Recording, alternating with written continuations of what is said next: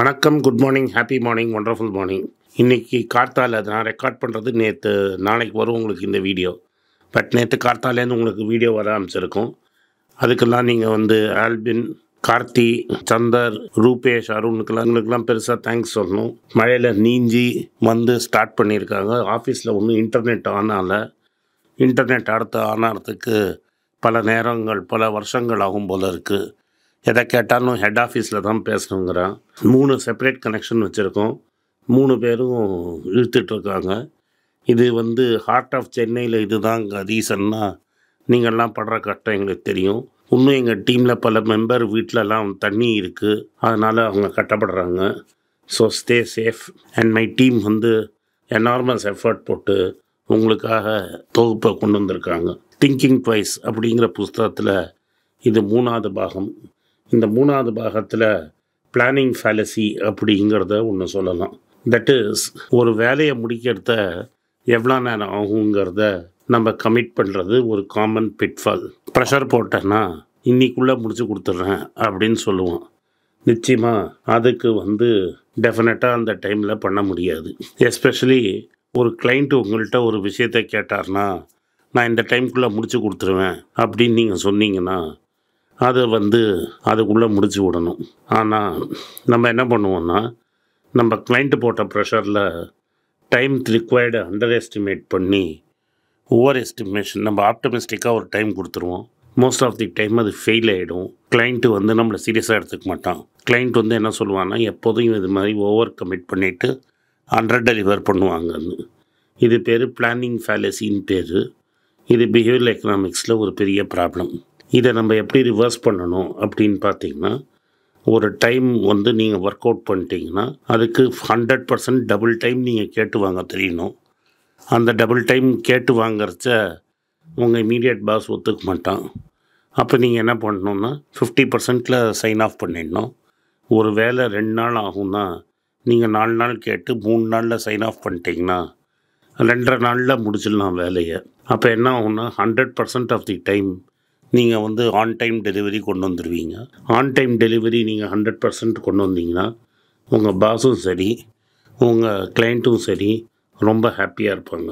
But முந்நூறு team வந்து அதை ஒரு நாளில் பண்ணிவிட்டு நீங்கள் ரெண்டரை நாள் கேட்டிங்கன்னா காரி துப்புவாங்க ஸோ பேசிக்காகவே இதை வந்து ஒரு ஃபைன் பேலன்ஸ் இதை எப்படி எந்த வேலையை எப்படி செய்ய முடியும்னு. அதனால் ஒரு ரியலிஸ்டிக்காக நம்ம பிளான் பண்ணுறதுங்கிறது வந்து என்ஹான்சஸ் அவர் வேல்யூ அண்ட் அதுக்கப்புறம் இது வந்து ஒரு பெரிய இஷ்யூஸ் எல்லாம் கேஸ்கேட் ஆகாமல் ப்ராப்ளம் தடுக்கும். சாஃப்ட்வேரில் வேலை செய்கிறவங்க எல்லாருக்கும் நான் சொல்கிறது உங்களுக்கு நல்லா புரியும். அதனால இந்த ப்ராஜெக்ட் டெலிவரியில் இந்த ப்ராப்ளம்லாம் வரும். Always better to underpromise and overachieve நம்ம எப்போதும் என்ன பண்ணுவோம்னா over promise and under achievement பண்ணுவோம். இது கொண்டு போய் பெரிய ப்ராப்ளமில் கொண்டு வந்து விடும். ஸோ ஆல்வேஸு இந்த டெலிவரி டைமு இதிலெல்லாம் கமிட்மெண்ட்டை பக்காவாக பார்த்து கொடுங்க. இது வந்து இந்த இன்வெஸ்ட்மெண்ட்டை பொறுத்த வரைக்கும் நம்ம வந்து ரிட்டையர்மெண்ட் கேல்குலேட்டரை போடுறச்ச இதுமாதிரி ஒரு பிளானிங் போடுவோம்.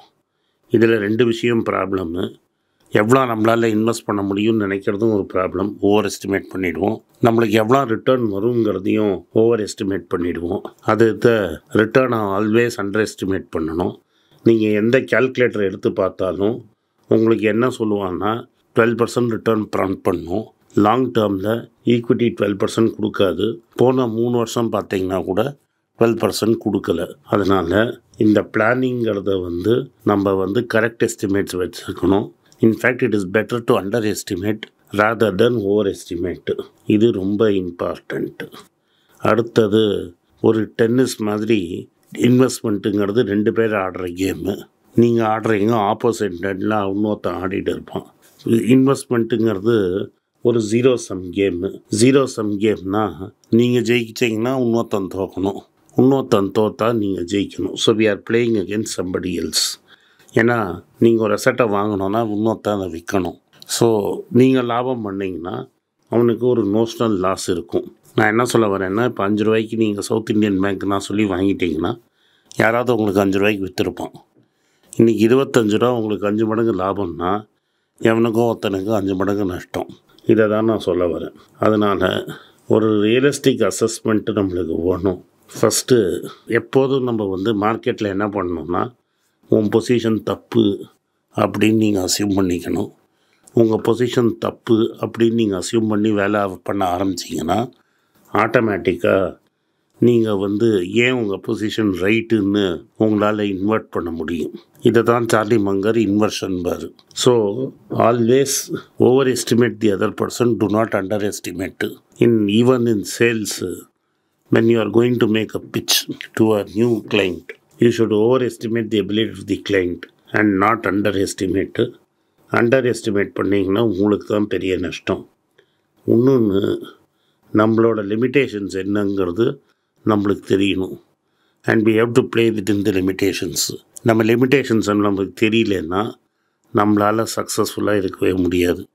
So first and foremost you should know your limits overestimating oneself and and underestimating others can lead to bad DC outcomes இதை பற்றி சார்லி மங்கர் பேசும்போது I rather hire a person who has an IQ of one thirty but thinks and I he has an IQ of one twenty rather than hiring a person who thinks he has an IQ of one seventy when he actually has one fifty இன்வெஸ்ட்மெண்ட்டுக்கு நம்மளோட temperament தான் வேணும் high IQ வேண்டாம் இந்த high always be very beware of a man who over estimates himself over estimate பண்ணாங்கன்னா டெஃபினட்டாக road to disaster அதனால் உங்களை உங்களே நீங்கள் அண்டர் எஸ்டிமேட் பண்ணிக்கிறது far better than over estimating your self அதனால் பி கேர்ஃபுல் அடுத்தது சுச்சுவேஷ்னல் அவேர்னஸ் எது மாதிரி சுச்சுவேஷனில் எது மாதிரி இன்வெஸ்ட் பண்ணணும்னு உங்களுக்கு தெரிஞ்சிருக்கணும். எக்ஸ்டர்னல் ஃபேக்டர்ஸுங்கிறது ரொம்ப இம்பார்ட்டண்ட்டு எக்ஸ்டர்னல் ஃபேக்டர்ஸுங்கிறது பல விஷயங்கள் இருக்கலாம் ஸோ நம்ம எக்ஸ்டர்னல் ஃபேக்டர்ஸை வச்சு நம்ம டெசிஷன்ஸை எப்படி வேணால் மாறும் மாற்றி போகலாம் இந்த மாற்றி போகிறத உங்களுக்கு வந்து எல்லாமே அஃபெக்ட் ஆகிடும் இதை வந்து பிஹேவியரல் எக்கனாமிக்ஸில் ப்ரைமிங்கும்பாங்க உங்களை ப்ரைம் பண்ணி அதுக்கப்புறம் நான் சேல் பண்ணேன்னா I can lead you astray on price அதனால் எக்ஸ்டர்னல் எலிமெண்ட்ஸ் கேன் லூ அஃபெக்ட் யுவர் டெசிஷன் மேக்கிங் சில டைம் நம்ம ரொம்ப சந்தோஷத்துலேயும் இருக்கோமோ சோகத்தில் இருக்கோமோ அது மாதிரி சமயத்தில் under stress you're pushed don't make a decision decision எடுக்கிறச்ச ரிலாக்ஸ்டாக இருக்கிறது பெட்டர் எக்ஸ்டர்னல் இன்ஃப்ளூயன்ஸில் டெசிஷன் எடுத்திங்கன்னா then it can lead to experience மாட்டிக்கும்.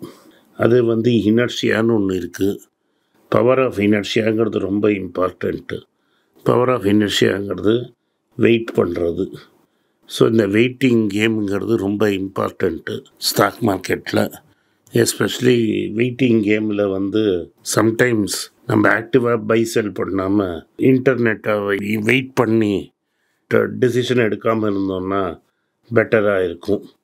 இப்போ டாடா மோட்டார்ஸ் முப்பத்தஞ்சில் டிவிஆர்லேயும் இதே எழுபதில் வாங்கியிருந்தோம். நானூறுரூவா வந்துருச்சுன்னொன்னா ஆறு மடங்கு காசு வந்துருச்சுன்னொன்னே விட்டுருந்தோன்னா முந்நூறு முந்நூறுரூவா லாபம் கிடச்சிருக்காது.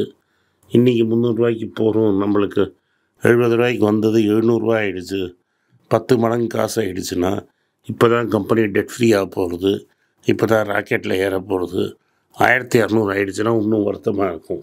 அதனால் it is better to wait இன்றைக்கி இந்த பவர் ஆஃப் இனர்ஷியாவோட போகிறோம் இனர்ஷியாவது உங்களுக்கு தெரியாதது நியூட்டனுங்கிறவர் கண்டுபிடிச்சார் நியூட்டன் என்ன சொல்கிறான்னா a body will continue to stay in state of rest or of uniform motion along a straight line unless acted upon by external force அதனால் சம்டைம்ஸ் நம்ம இனர்ஷியாலே இருக்கிறது பெட்டர் நியூட்டன் சொன்ன வழியில் போவோம். நன்றி வணக்கம். இந்த வீடியோ உங்களுக்கு பிடிச்சிருந்தா இந்த வீடியோவை லைக் பண்ணுங்கள் எங்கள் சேனலை சப்ஸ்கிரைப் பண்ணுங்கள் பெல் நோட்டிஃபிகேஷன் தட்டுங்க.